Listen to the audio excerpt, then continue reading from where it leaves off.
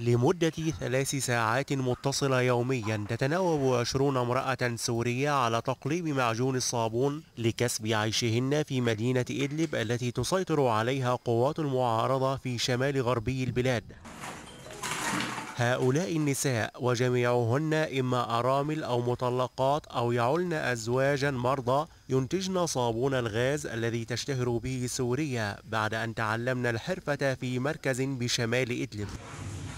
فتلك المرأة التي تبلغ من العمر 37 عاما وتعمل في صناعة الصابون لإعالة زوجها المريض وأطفالها الثلاثة تتحدث عن متاعب جمة. هو صناعة الصابون هي بدها كثير جهد بدها تقريبا شي ثلاث ساعات متواصلة لتحريك الطبخة.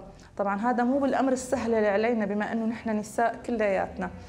ما هو الشيء السهل علينا؟ إنه نحن نطبخ صابون وتسويق ونحن عم نسوق. اللي كان الكترونيا واللي كان إنه على المحلات واللي كان إنه مثلا نطلع بياعين الجمله إنه كل التسويق على كل شيء في عنا إنه هو شغل يدوي.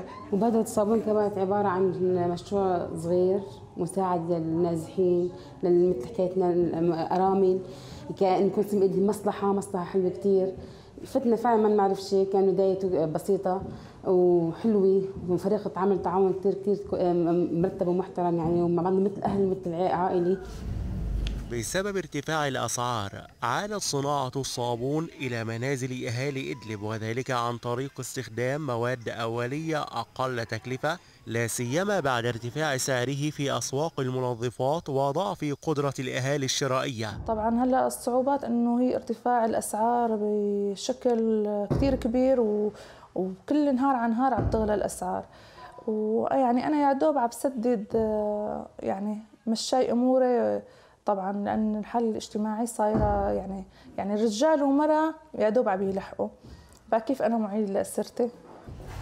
وعلى الرغم من كل التحديات التي تواجهها النازحات السوريات بصناعة الصابون في إدلب إلا أنهن يأملن في توسعة المشروع وتصدير منتجهن للخارج في المستقبل.